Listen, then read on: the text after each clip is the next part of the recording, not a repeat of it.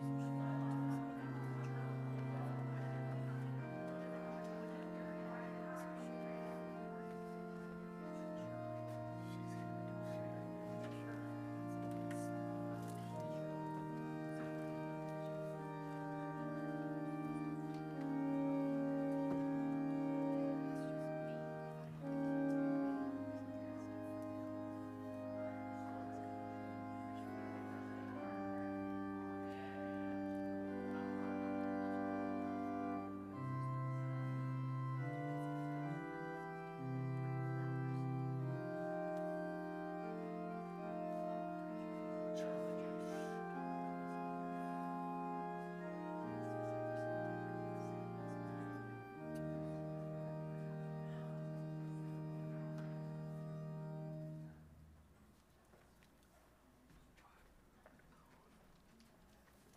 Good morning, everyone.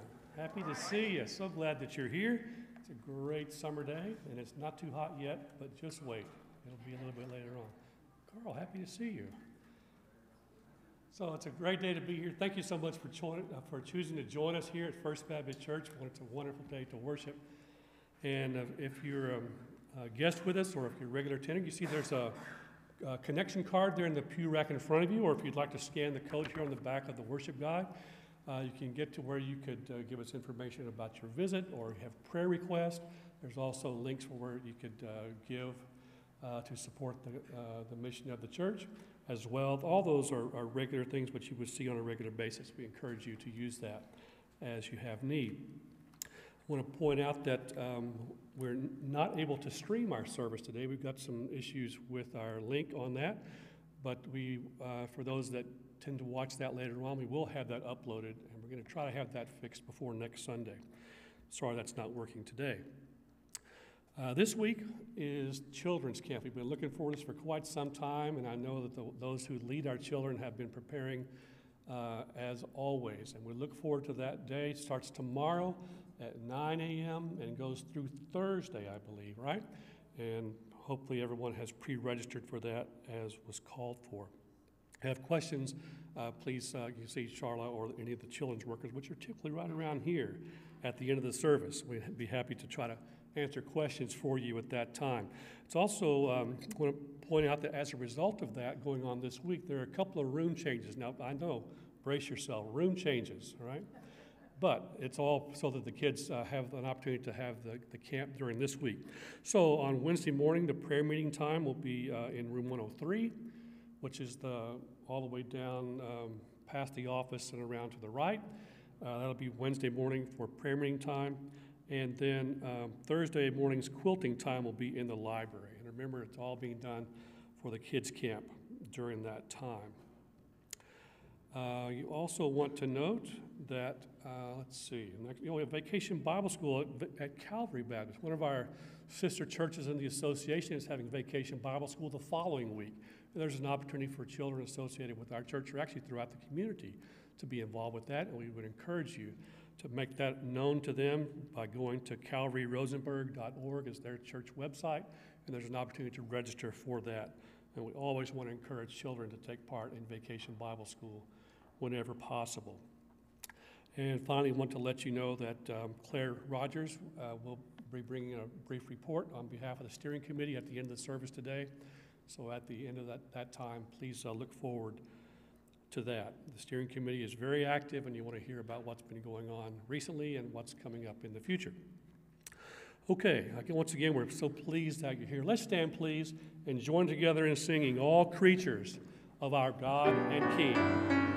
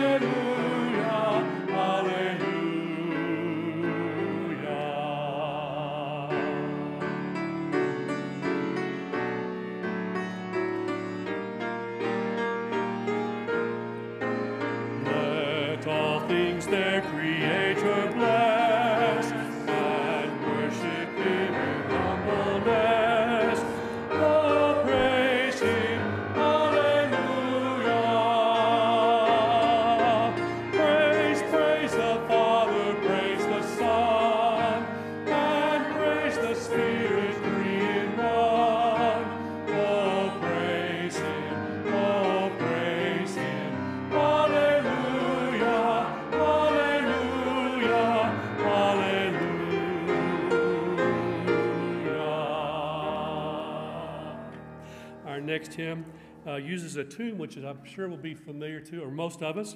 It uses the, the tune which is often sung to the text, Jesus shall reign where'er the sun. This is a different text for us from all that dwells below the skies.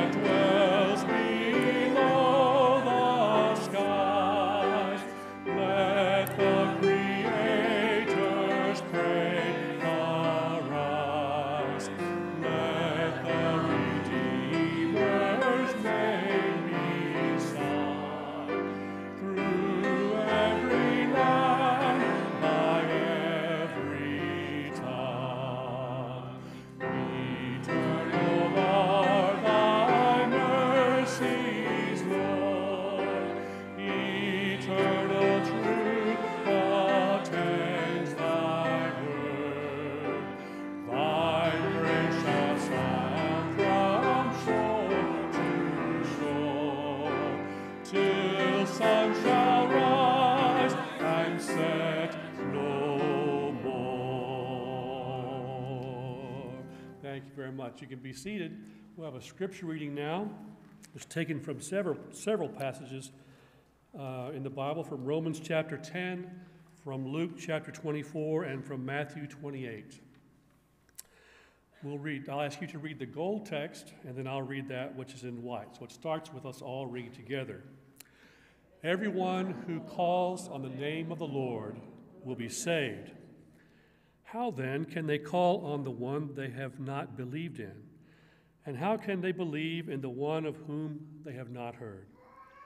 And how can they hear without someone preaching to them? And how can anyone preach unless they are sent? As it is written, How beautiful are the feet of those who bring good news. He told them, This is what is written the Messiah will suffer and rise from the dead on the third day. And repentance for the forgiveness of sin will be preached in his name to all nations, beginning at Jerusalem. Therefore, go and make disciples of all nations, baptizing them in the name of the Father and of the Son and of the Holy Spirit and teaching them to obey everything I commanded you. And surely I am with you always at the very end of the age. That great promise at the end there that God promises to be with us. We now sing a series of songs that remind us that whatever our cares may be, God never leaves us. Let's sing those promises now.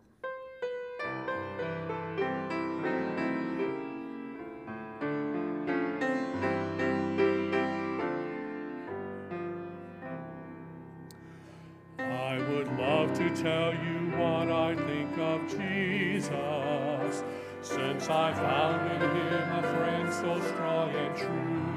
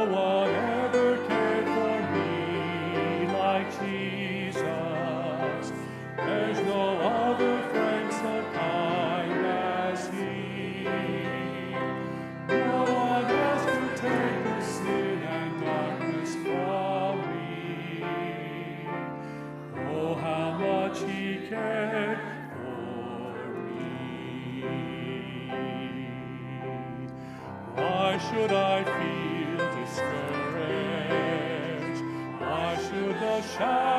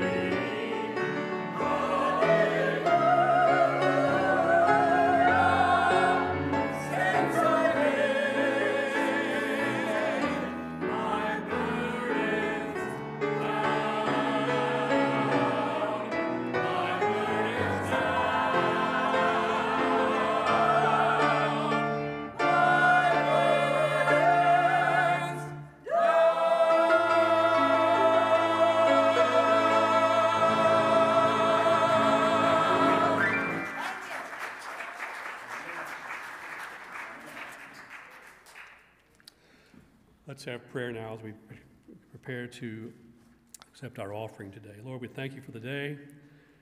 Thank you that you are the one who will take our burdens and carry them away. We lay them at you and trust you for that. And now, Lord, as we take this time to give tithes and offerings, we do so with thankful hearts and trust that you will bless it and honor it for the, your kingdom work.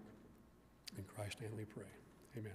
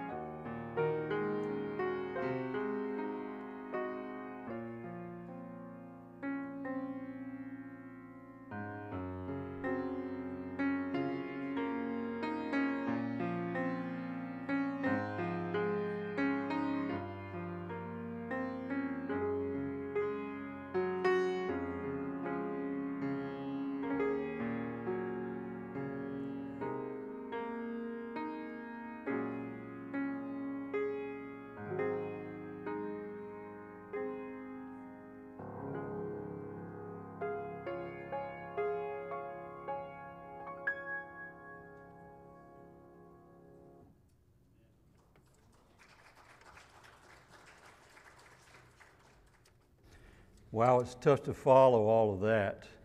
Thank you, Brian and Celebration Choir and Jan, for all of you who have led us in worship, and you've been doing that for uh, a long time now. And just for the last few Sundays, and uh, for a couple more at least, I'll get to be part of that, and I'm excited about it. I'd kind of like to stick around as long as I can, you know. Uh, I have a few other things I need to do, but but uh, trust me, this is, these are cherished moments with you. And God bless you, dear brothers and sisters, the saints of God, the First Baptist Church of Rosenberg, Texas. I want to introduce to you uh, some other special people for me, and they are with me and with my wife Beth today. And uh, I need to tell you, we have a total of eight grandchildren, and we, you can divide them into two crops of four. All right? And so we have four older ones, and they're, they're either teenagers or on the verge of being teenagers. And then we have four preschoolers and babies coming right after them. So there's, you know, just as soon as we finish with one crop, we've got another one coming along. Uh, and we didn't, we didn't plan it that way. We didn't intend it that way. That's just the way God has given to us with three grown children now. And they're always glad to give us time with their kids. And who knows what they're doing uh, in, in, in the meantime. But this is what we call, and this is our fourth year of calling it Island Camp Week. Uh, some of you know that Beth and I have a home uh, moving toward retirement in Galveston. And uh, so we are typically there uh, two or three days at the end of the week before you see us uh, on Sunday or somebody sees us on Sunday. And then we, um, uh, every June, we'll have what we call as Island Camp Week, and we have our grandchildren who are old enough for it to come and they wear us out for several days.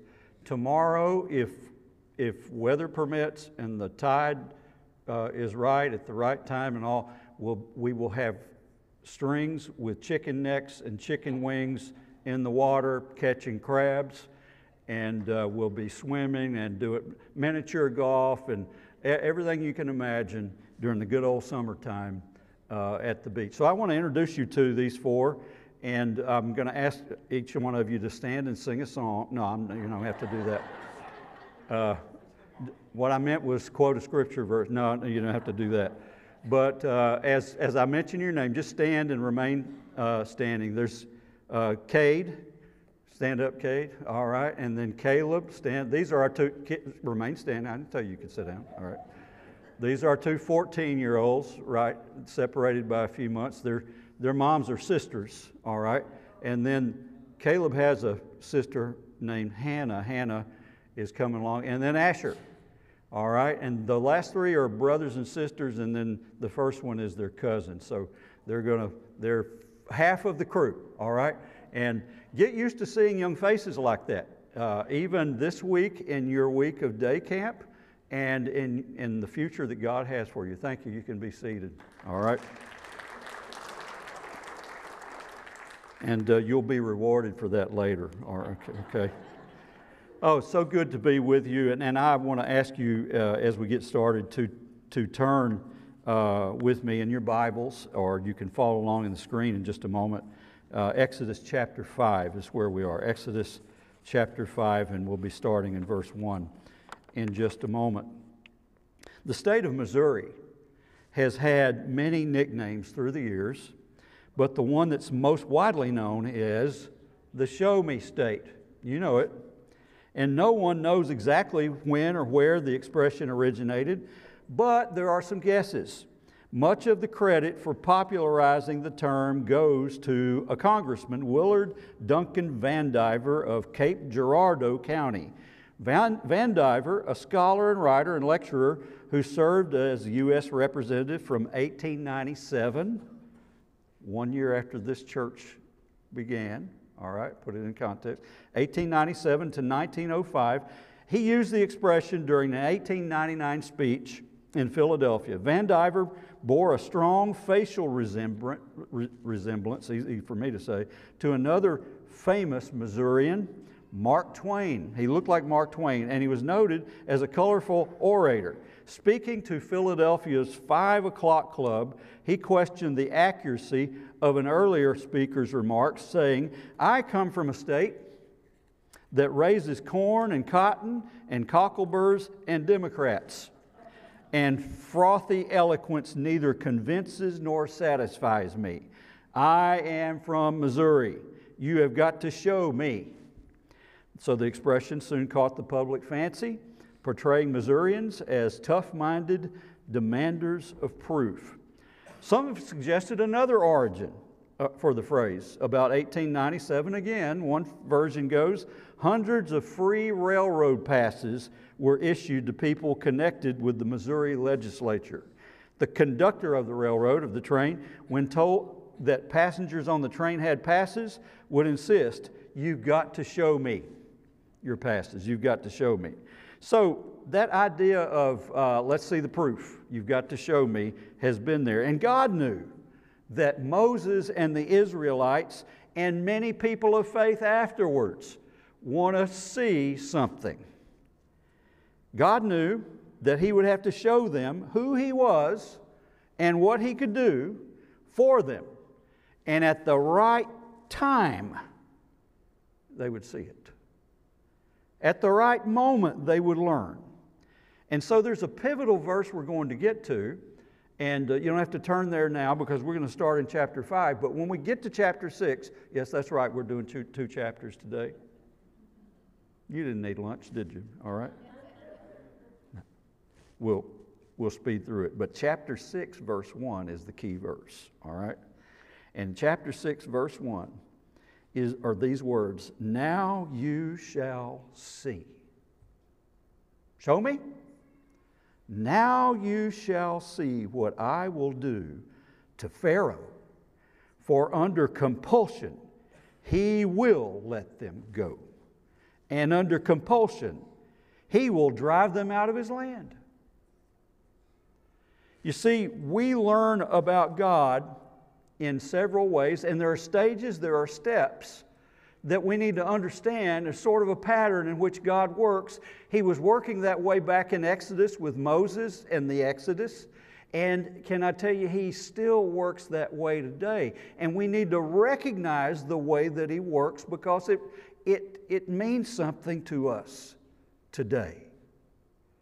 And so that's where our story begins. You remember, Moses was talking to a bush. All right? And uh, it moves right along, you know. God has given him instructions what to do and what to tell the people and what to say to Pharaoh. And we pick up the story, chapter 5, verse 1. And if you are able to, I invite you to stand for the reading of God's Word. Chapter 5, verse 1. And we'll read just the first three verses for now. And afterward, Moses and Aaron came and said to Pharaoh, Thus says the Lord, the God of Israel, let my people go that they may celebrate a feast to me in the wilderness. But Pharaoh said, Who is the Lord that I should obey his voice to let Israel go? I do not know the Lord, and besides, I will not let Israel go. Then they said, The God of the Hebrews has met with us. Please let us go a three days' journey into the wilderness that we may sacrifice to the Lord our God. Otherwise, he will fall upon us with pestilence or with the sword. Thank you. You may be seated. So, this is what we're going to learn about, about today is that God has a pattern to show who He is. And our takeaway truth today is that God does reveal Himself by His actions, but they are precisely timed to accomplish His purpose and to increase our faith in Him. You see, here's the pattern, and we ought to, we ought to understand it and recognize it. His pattern has been to show the greatest mercy to His people following, you ready? Following a time of great affliction. Or to put it another way, daybreak comes after the darkest night. Now, I want you to just capture that thought in your mind, and however that might relate to your life personally or to your church corporately. Daybreak comes after the darkest night. After great despair, God says, Now you will see. Now you will see. And so that actually comes out of Exodus chapter 6, verse 1. But before we get to chapter 6, verse 1, there are some things that sort of set the table for this. You see, God knows timing. It's, we, read the, we read the phrase, especially in the New Testament, in the fullness of time. Time is very important to God. Although He doesn't live in it, He has put us to live in it, and He acts within it. And so this pattern starts with this God acts after He has identified Himself. in these few verses that we read where Moses and Aaron went to Pharaoh and says, The Lord says to do this to let his people go. Well, Pharaoh says, Well, the Lord, who's he? I never heard of him. You see, in those days, the Pharaoh, the king of Egypt, knew that lots of his enemies had their own gods. There, were, there was a pantheon of gods. They were, they were, they were deists, but plural in their, in their understanding of gods. And this Pharaoh knew of lots of different gods. In fact, they were territorial gods. And if you went from one territory into another, you moved from the, from the power uh, or, the, or the sovereignty or the jurisdiction of one God to another. And so there were lots of different gods in their understanding. But this one right here, you never heard of him. Who is this God you call the Lord? I don't know about him. I never heard of him. I don't know who he is. And what makes you think that you can just march right in here and say that he says for me to do this? I don't even know if he exists. This God you call the Lord. Here's the funny thing, though the Israelites didn't really know who he was either. Now, Moses and Aaron knew. Moses knew that there was a bush talking to him, and it was burning, but it wasn't burning up. Moses understood that he had confronted a God who said, I am the great I am. And Moses, this is what I want you to do.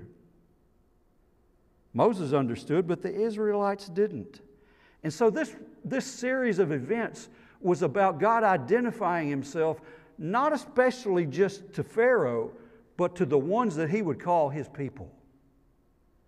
And it's that identifying, it's that getting to know, it's getting to, to be acquainted, it's that familiarity, it's that intimacy that God was trying to establish. Because, listen, it's that intimate God, the Lord, that you and I know today. The one who was speaking out of the burning bush to Moses is the one that speaks right into your burning heart today as you seek His guidance and His love and His care for you. He is the same one. But the Israelites were just getting started with Him at this point. They didn't really know who He was. And so if we were to if we were to read it, skipping over, hold your finger in chapter 5, but then if you go over to chapter 6, look at verses 2 to 5, just follow along.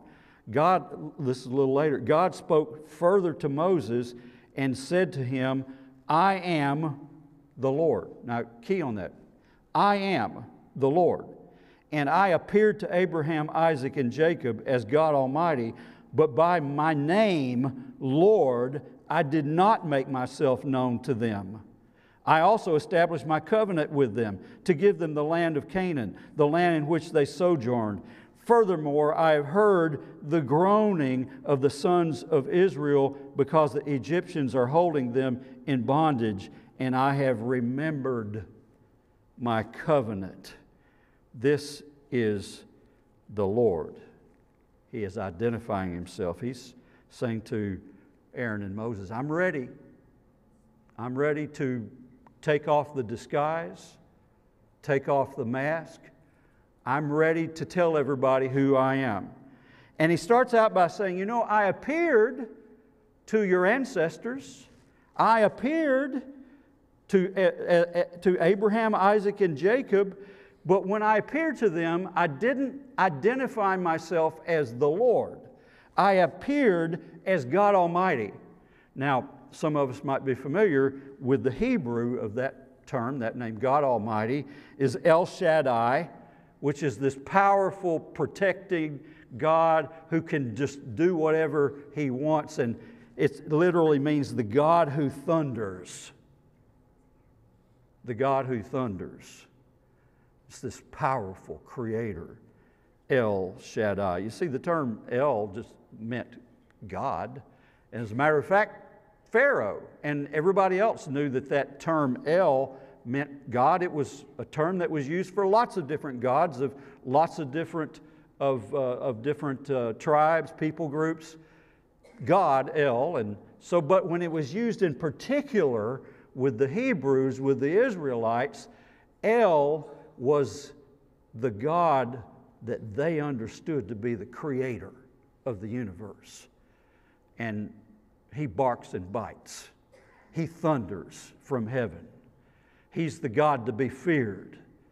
But they didn't understand that he was a God of a relationship and a personal, loving God. He had appeared to be that powerful, thundering God to Abraham, Isaac, and Jacob. But he says right here, I never named myself as the Lord. Now, now to Moses, Aaron, and the Israelites, he would be Yahweh. Yahweh. You know, just even saying Yahweh was something to be afraid of back in those days. They were afraid to even say or write down Yahweh, that they would even write down the four, the four uh, different, uh, uh, I want to say, consonants Y, H, W, H for Yahweh, not putting in the vowels. YH, some, some call this the tetragrammaton. All right, the tetragrammaton. YHWH. Or some would translate Yahweh would be Jehovah God.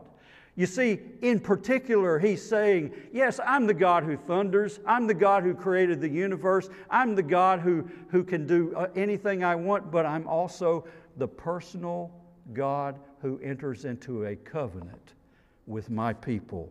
I will be your God. You will be my people. I will be more than just a powerful creator of the universe. I will be your personal God. And I want to have a relationship with you. And everything that would follow from that would be about the relationship. And my brothers and sisters, it's still about that. It's not just that He is the sovereign, uh, omnipotent God. Yes, He is. But He's also the omnipresent and personal God to you and me. He is El Shaddai, He is the God Almighty, but at the same time, He's Jehovah, my God and your God. And so they would write it down this way in the Old Testament. Instead of writing down Jehovah or Yahweh, they would write just these two words the Lord the Lord. And whenever you see anything in the Old Testament, especially in which he is named as the Lord, and often all caps, L O R D, we understand that is that personal, intimate Jehovah God who offers himself to you and me and has, a, has, has saved a place for you and me in Christ in eternity. It's that one. And so David would say, The Lord is my shepherd. I shall not want. And as you read the Old Testament and you see these two words, the Lord, that's more than just the God of the universe. That's more than just God Almighty. He is that personal God that you and I can know. And He offers Himself that way. And so He says, I am the Lord. I am the great I. I am the Lord, as he would speak from the bush.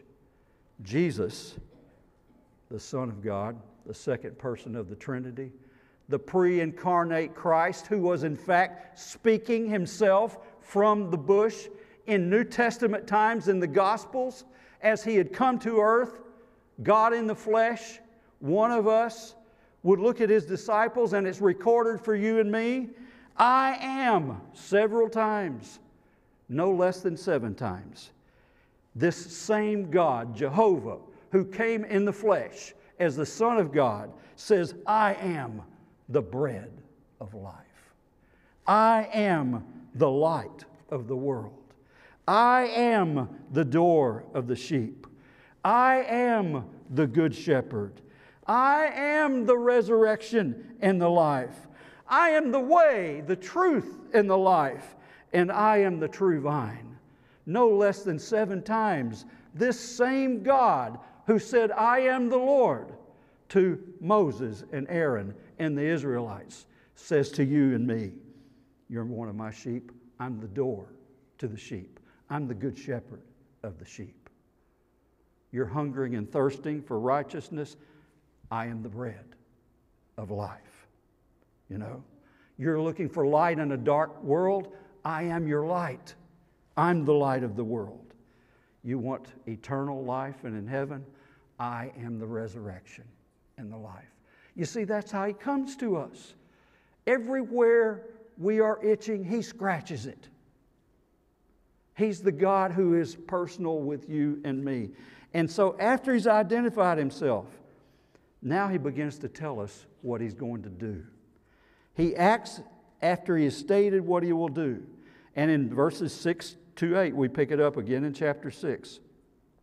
He says, Say therefore to the sons of Israel, I am the Lord and I will bring you out from under the burdens of the Egyptians, and I will deliver you from their bondage. I will also redeem you with an outstretched arm and with great judgments. Then I will take you for my people, and I will be your God, and you shall know that I am the Lord your God, who brought you out from under the burdens of the Egyptians. I will bring you to the land which I swore to you to give to, to uh, Abraham, Isaac, and Jacob, and I will give it to you for a possession.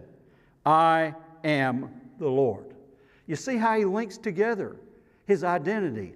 I am the Lord. I am your Jehovah God. And the one who remembers it, I establish a covenant with you, and I remember it. You understand what we do with the Lord's Supper, with communion? That covenant that Jesus says, This is the new covenant in my blood we come to remember it with Him. A covenant is no good if you're not remembering it, if you're not continually renewing it and coming back to it. You see, that's what we do when we have the Lord's Supper. And this is a God who never forgets. This is a God who's always remembering His covenant, always remembering the pledge that He made to His people. And good folks of First Baptist Church in Rosenberg, can I just remind you this is the same God who has been with you and your church for over a hundred years now, and he has not forgotten it. He remembers. And he's calling on you to remember it today. Look at all the things that he said he's going to do here for his people. I will rescue you, I will redeem you, I will be your God, I will bring you to the land. Catch that last part there? I will, I will bring you to the land. Well, where's that? We don't know. Stick around and find out. He says to Moses, This is what I'm going to do. You see, what God is doing, this is who I am, and this is what I'm going to do. Those two things. When he says, This is what I'm going to do, by his word, we hold on to that. But now comes the experience part of it. And the experience is very real. I kid you not. The experience. Sometimes it gets dark before the light comes on. It's always been the way it has. It's always been that way. God acts after the faith of his people has been tested. Now, Pharaoh had said, I'm not going to let them go. As a matter of fact, I'm going to turn up the heat. And so he turned to, he turned to the taskmasters, who would turn to the foreman of the Israelites, and he said, Here's what we're going to do. They're making bricks but from now on, we're not going to give them straw. They're going to have to find their own straw. And we're not going to decrease the number of bricks that they need to make. They've got to come up with the same number of bricks and they've got to go find their own straw. And this will teach you to come back and ask if they, if they can leave. As a matter of fact, I think they're just lazy. So all of the outside voices that don't know God are working against God's people. Sound familiar? Okay? Pharaoh says, I'm not going to let them go. In fact, I'm going to make it more difficult for them. So it, we come down to verse 19. And in verse 19, we're going to read this, but let me just, the foreman of the sons, the foremen were Israelites who were sort of the group leaders. And they're getting their marching orders from the taskmasters, the supervisors of the Egyptians. And the Pharaoh's telling them what to do. And it filters down to the foremen, the group leaders. And the foremen of the sons of Israel saw that they were in trouble. Now, the word trouble is not the kind of trouble you and I think about, all right? You, your, your car gets stalled, or you get a flat tire, you think, boy, this is kind of a bad day. You know, this is, I have trouble. You're in the sink, you drop a glass on the floor, it shatters on the floor, you think that's trouble. No, that's not trouble. That's not trouble. Let me tell you what trouble was to them. You see, the Israelites had felt all along that they were actually in favor. They were favored people with the Egyptians. They didn't even have any problem being slaves. I mean, they're just working. In fact, they came, they came there centuries before with Joseph, remember? And all along, the Israelites felt like they are, they're pretty much in the catbird seat. You know, they're, they're in a pretty good place with the Egyptians. It's the Egyptians' country, but they, have a, they don't have a bad life. They're slaves who didn't really understand that slavery was a bad thing. They didn't want to get up and go anywhere. But God had something better for them. They were going to have to find out. So God is going to use, in fact, in, in chapter 6, verse 1, he said, Now you shall see what I'm going to do to Pharaoh, and Pharaoh is going to want them out of there. Okay? But before that happened, the time of trouble, watch this now. They went from a, time, a point in which they felt like they were favored to now they're despised and deemed to be lazy. And so they looked at Moses and said, We didn't ask for this.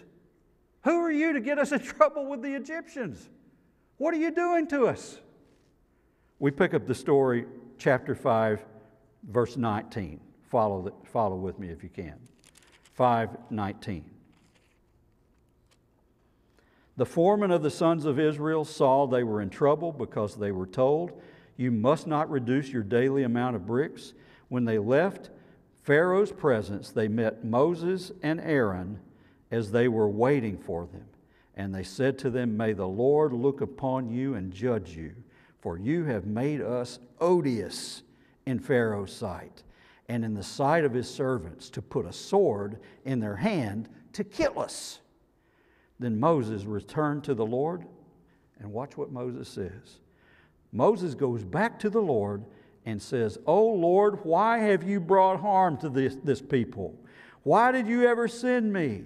Ever since I came to Pharaoh to speak in your name, he has done harm to this people, and you have not delivered your people at all.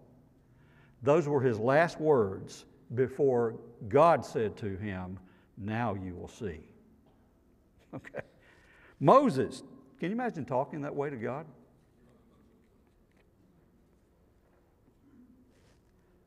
It kind of, for one thing, shows us we can be honest with God. Just at that time in which Moses was saying, Why did you send me into all of this? And, and you started all of this, and we can't, basically, we can't trust you. And God said, Now you will see. Things getting worse? Things getting dark? Things getting desperate? Good. Now you will see. You see, that's the way that God works in our experience with Him. Is that, is that just before the time in which things are going to break for us, we feel like we're broken. Now you will see. And so God acts after He's identified Himself, after He's stated what He's going to do, and then after the faith our faith has been stretched to the limit. Now we will see. A Puritan named Jeremiah Burroughs in the year 1645, almost 400 years ago, wrote a series of sermons. And this is what he titled his little book. You can find it on the internet The Rare Jewel of Christian Contentment. And I want to read you, as we close this, a little paragraph of what he writes about this. And I want, as I read this, I want you to think about your life and about your church.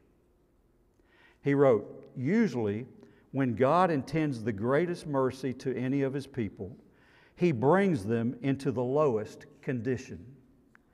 God seems to go quite across and work in a contrary way. When he intends the greatest mercies to his people, he first usually brings them into very low conditions. If it is a bodily mercy, an outward mercy that he intends to bestow, he first brings them physically low and outwardly low. If it is a mercy in their, in their possessions that he intends to bestow, he brings them low in that, then raises them. And in their reputations, he brings them low there and then raises them. And in their spirits, God ordinarily brings their spirits low, then raises their spirits. Usually, the people of God, before the greatest comforts, have the greatest afflictions and sorrows. I want to read that sentence again. Usually, the people of God, before the greatest comforts, have the greatest afflictions and sorrows. Now, those who do not understand God's ways think that when God brings his people into sad conditions, he is leaving and forsaking them, and that God does not intend any great good to them. But a child of God who is instructed in this way of God is not troubled. My condition is very low, he says, but this is God's way when he intends the greatest mercy to bring men under the greatest afflictions. When he intended to raise Joseph to be the second in the kingdom, God cast him into a dungeon for a little while. So, when God intended to raise David and set him on a throne, he made him to be hunted as a partridge in the mountains. God dealt this way with his own son. Christ himself went into glory by suffering. And if God so deals with his own son, much more with his own people. A little, a little bef- before daybreak, you will observe that it is darker than it was any time before. So God will make our conditions a little darker just before the mercy comes. Saints of God, brothers and sisters of First Baptist Church of Rosenberg, as God would say, I've heard your groanings. He's noticed. He's noticed. But get ready. Because as we turn from Moses' words to God, he was the chief of complainers. All right. The next thing God says, now, now, you will see. It'll be fun to find out. I join you. Thank you, Lord, for becoming a very real and personal God to us.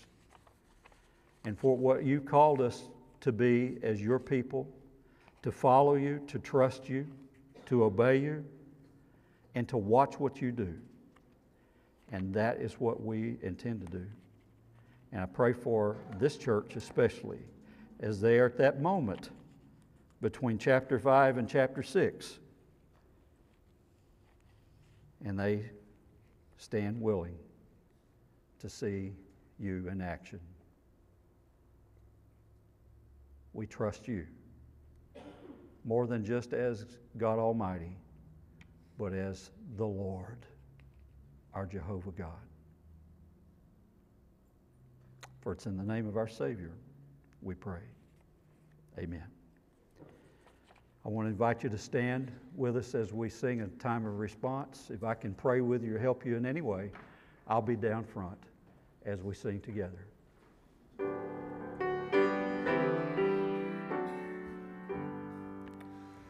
Out of my bondage, sorrow,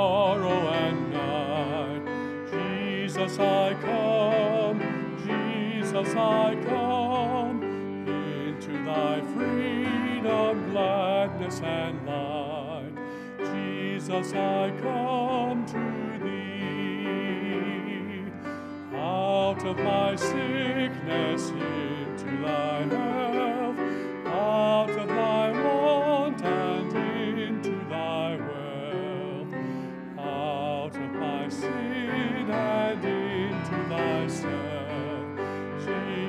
I come to thee, out of my shameful failure and loss. Jesus, I come,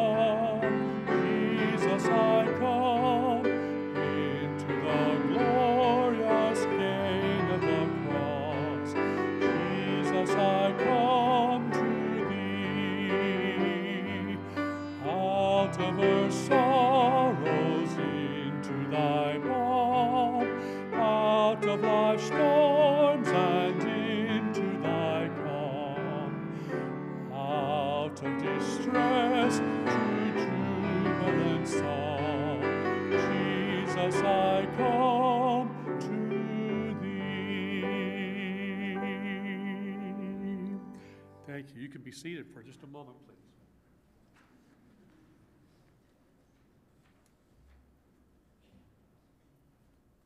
Good morning. All right, in the messenger this week, I'm sure you saw the update from the steering committee, so I just want to go over some of that real quickly. Um, we met with Aaron Groff, the representative from Attack Poverty, the group that's going to be purchasing our building. The purchase is on schedule. We anticipate the closing date in mid-July, okay? So, there's a lot of things that have to happen between now and then. and I'm sure you've seen some cleanup in progress. Some of you are Sunday school leaders or children's directors and in various rooms where you've been asked to go through this stuff. So, based on that, Betty has designated a room in the hall right behind me, room 115. That is our garage sale, shopping. Um, if you find anything in that room that you could use, please take it home. Don't put it in another room to store it, take it home, okay? And a lot of things in that room have come and gone and come and gone, and we're going to continue to put things in that room that you can feel free to come and take home with you and use in ways that you need to. Also, the library. We have a lot of books, a lot of really good books. If there's a book in there, a few books in there, a series in there, something that you would like to take home and read and use or give to someone for their ministry, feel free, okay? If you have a question about any of the books in the library, Linda Grimes is your woman. she's a librarian and she's been super helpful in helping us sort out and go through things. Now, I will say that one of the pastors of the association is reaching out to a ministry that maybe could use a big section of the um, commentaries and things like that in a ministry that they're starting. So we're waiting to hear from them about those books. But if even you find something in there that you could use in your ministry, please feel free to take that. Okay, that said, um, I've been working in the prop room. I'm meeting with someone who works in um, a drama department at a university, and she's coming this week to go through and see what they can use in their ministry. So we want to bless people with the stuff that we have, okay? But we're sorting out, you know, what goes where and how things go. Now, when we met with Aaron, they uh, attack poverty as being really generous in allowing us to use some spaces in this church in the months going forward.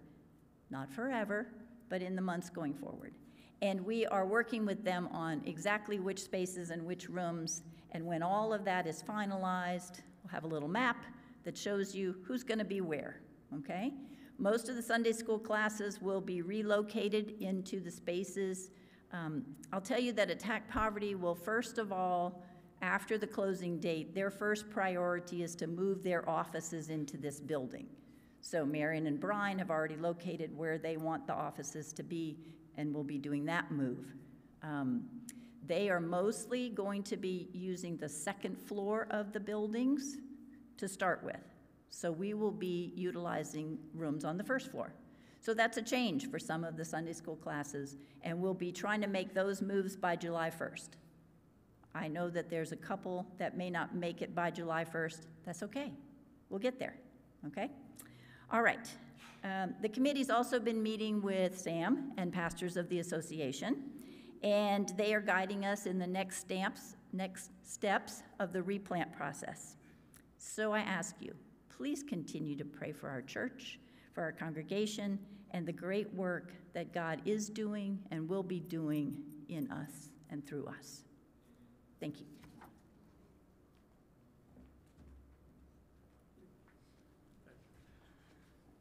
Let me, uh, just on behalf of the church, say thank you to those that are serving on the steering committee. They're doing a wonderful work and a lot of work, so we thank you for that.